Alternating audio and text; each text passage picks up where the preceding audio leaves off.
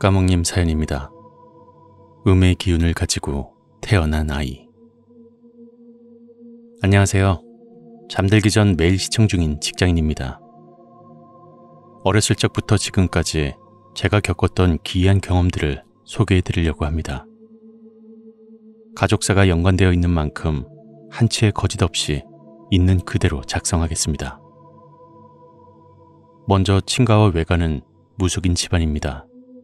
뭐 부모님께서 의도를 하고 만나신 건 아니지만 두 분이 일찍 출가하여 살림을 차리고 애를 가진 후 결혼 허락을 받고자 찾아가니 서로 양가가 무속인 집안인 걸 아시게 되었습니다.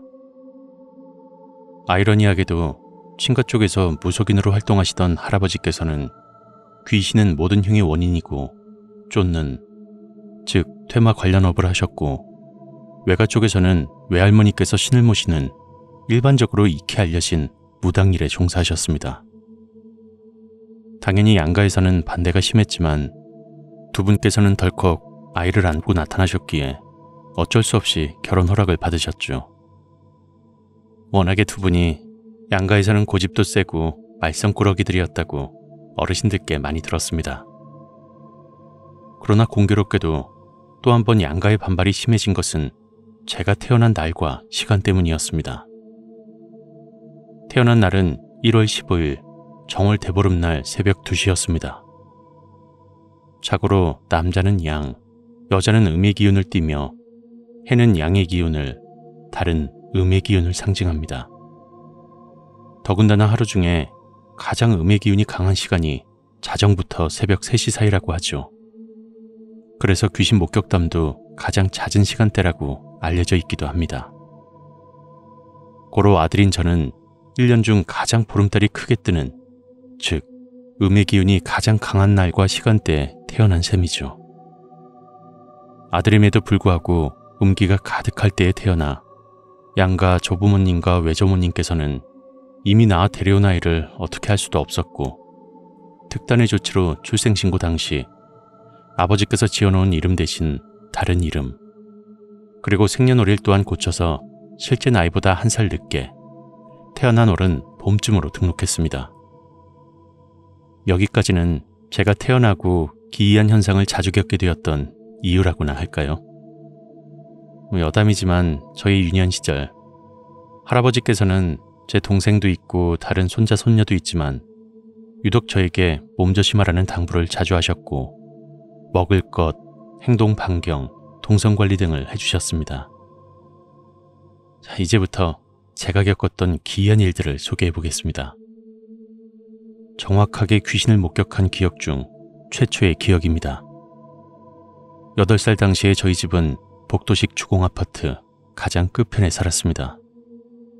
한 층에는 총 10가구로 구성된 복도식 아파트였는데 가장 좌측에는 야외 계단이 있었고 중간쯤에는 엘리베이터, 그 옆에는 실내 계단이 위치하고 있었습니다.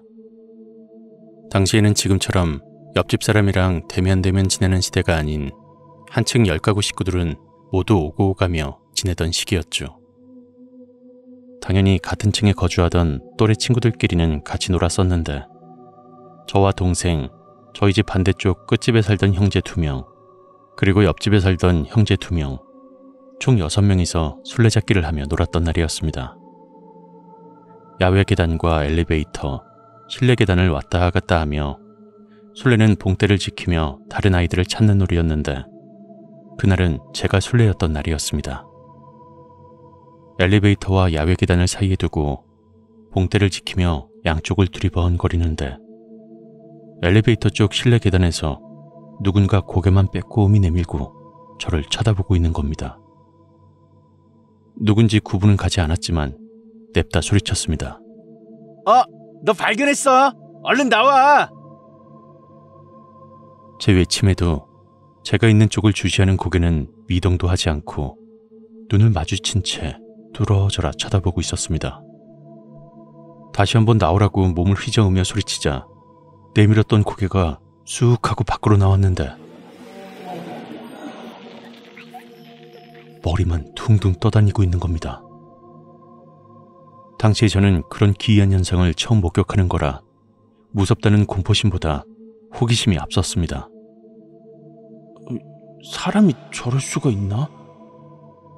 막연한 궁금증으로 다가가려는데 뒤에서 봉대를 점령하러 온 아이들을 돌아보다가 다시 머리 쪽으로 돌아보자 사라지고 없었습니다.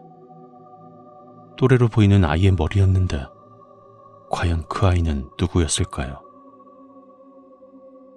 다음은 아홉 살쯤이었던 것 같습니다.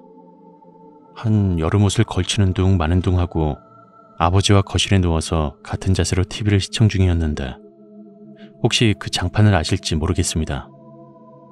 걸을 때 쩍쩍 소리가 나는 노란색 장판 말이죠. 요즘엔 참 보기 드문 장판인데 당시에 저희 집이 딱 그 장판이었거든요. 여튼 한참 TV를 보는데 눅눅한 맨발이 쩍쩍 달라붙는 소리를 내며 걷는 소리가 나길래 그 소리 나는 쪽을 바라보았더니 딱 봐도 성인 크기에 창백한 발이 걸어다니고 있는 겁니다. 그것도 잘린 채로 말이죠. 발이 움직이는 동선을 따라 신기하게 보고 있었는데 아버지가 제 고개를 자신 쪽으로 억지로 돌리시는 겁니다. 아빠, 저기 발이 걸어다녀. 제 말에도 아버지는 저의 고개를 억지로 돌리시고는 말씀하셨습니다.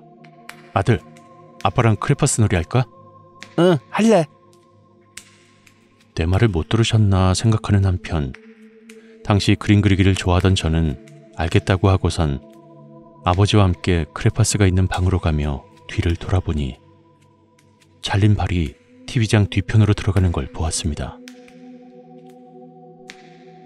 그리고 나서 다음날 다시 TV장 뒤편을 쭈그려 앉아 쳐다보고 손도 넣어봤는데 역시나 아이였던 제 팔도 겨우 들어갈 공간에 성인 크기의 발이 걸어 들어갈 공간은 없었습니다. 나중에 성인이 되어 아버지와 함께 술 한잔을 하며 당시에 갑자기 크레파스 이야기를 왜 하신 거냐고 여쭈어 보았습니다.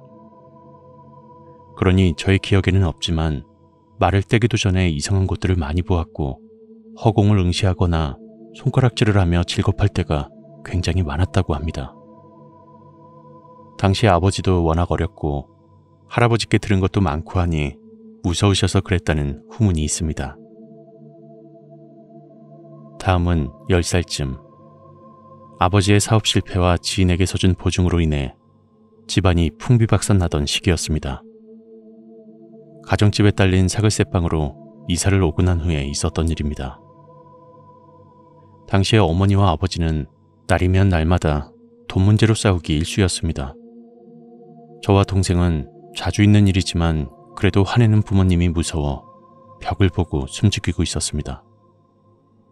그날 당시에는 괜히 저 화가 우리에게 돌아올까봐 그게 걱정이 돼서 그랬던 것 같습니다. 그런데 그날따라 술에 취한 아버지는 화를 주체할 수 없으셨는지 당금줄을 번쩍 들어 부엌 바닥에 내동댕이 치셨습니다.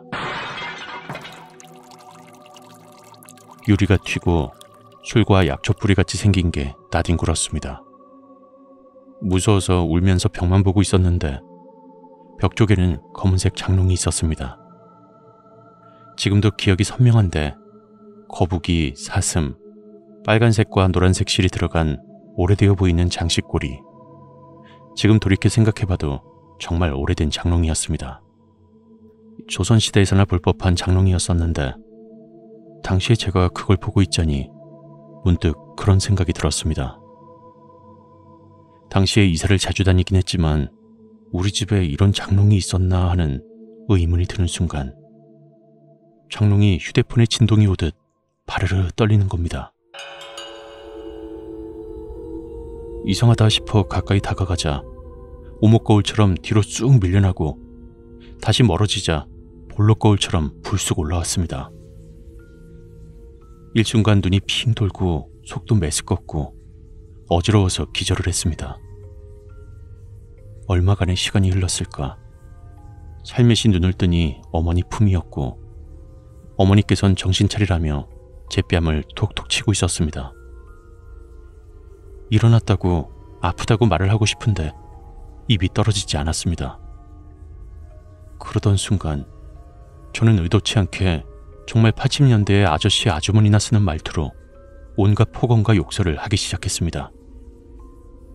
어머니께서 제 입을 틀어막고 왜 그러냐며 눈물을 흘리시며 저를 더 꼭 껴안아 주셨죠. 그럼에도 불구하고 저는 제 의도와는 다르게 더욱더 악을 쓰고 욕을 했습니다. 온전한 정신인데 제 뜻대로 움직여지지 않는 몸에 두려움을 느끼고 눈에서는 눈물이 그렁그렁 떨어지는데 입에서는 욕이 끊이지 않았습니다. 그러다 제 풀에 지쳐 기절을 한 건지 잠이 든 건지 얼마 후 살며시 눈을 떴습니다. 방금까지 그렇게 무서웠는데 어머니도 아버지도 집에 안 계셨고 동생도 보이지 않았습니다. 너무 소름 끼치게 고요했죠. 미세한 생활 소음도 없었고 고요한 세상에 나밖에 없다는 느낌이 들 정도의 공허한 상황에 두려움을 느끼고 발악하며 어머니를 부르고 뛰어다녔습니다. 엄마! 엄마! 엄마! 공허함에 메아리치는 저의 목소리마저 무섭게 들렸고 깨져 있어야 할 당금주가 멀쩡한 것을 보고 이상함을 느꼈지만 그 상황이 너무 무서워 눈에 들어오지도 않았습니다. 비명을 지르다시피 바락바락 소리 지르며 엄마를 찾아 뛰어다니다가 문득 누군가 제 어깨를 덥석 잡는 느낌의 뒤를 돌아보니 아버지였습니다. 그제야 여태 안 들리던 생활 속의 소음이 점점 들리기 시작했습니다. 개가 짖는 소리, 수도꼭지에서 떨어지는 물방울 소리, 냉장고 소리 등등 말이죠. 물론 가족들은 저의 곁을 떠난 적이 없었습니다. 다만 안 보였을 뿐이었죠. 그렇게 아빠 품에 안겨 엉엉 울면서 지쳐 잠에 들려던 찰나 할아버지께서 오시는 걸 보았습니다. 다시 눈을 뜨니 제 팔에는 수십 개의 바늘 같은 것이 꽂혀 있었고 할아버지께서 이상한 말을 반복적으로 중얼거리시며 저의 몸에서 무언가 꺼내는 신용과 함께 천 원짜리 지폐에 탁 담는 듯한 행동을 하시고는 그대로 접어 벽에다 던지기를 반복하셨습니다. 평소라면 바늘이 아프고 무서워서 엉엉 울었을 테지만 그 순간엔 힘이 다해서 그런 건지 이상하게 몸이 더할 나위 없이 편안함을 느꼈고 기절이 아닌 스르르 잠이 들게 되었습니다. 문득 잠결에 이런 소리를 듣게 되었습니다. 장롱 위에 저 파란 보따리 당장 가서 불태워 버려라. 그게 뭔데요? 막둥이 넌 알 필요도 없고 알아서도 안 된다. 다음 날 눈을 떴을 땐 아버지께서 보따리뿐만 아니라 장롱 전체를 내다버리신 후였습니다. 성인이 되어서 아버지께 여쭈었습니다.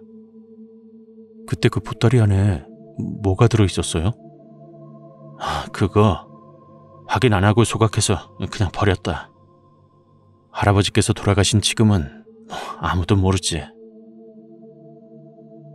할아버지 말씀으로는 제가 잡기가 잘 꼬이는 팔자라 하셨는데 그렇다고 하기엔 그릇이 작아 쫓아낼 역량이 안 되고 외할머니 또한 팔자에 비해 받아들일 그릇이 안 된다 하셨습니다. 현재까지 겪었던 일이 정말 많은데 오늘은 여기까지만 쓰겠습니다. 워낙에 허무한 결말이라 막상 써보니 재미가 없는 것 같기도 하네요. 들어주신 분들 감사합니다.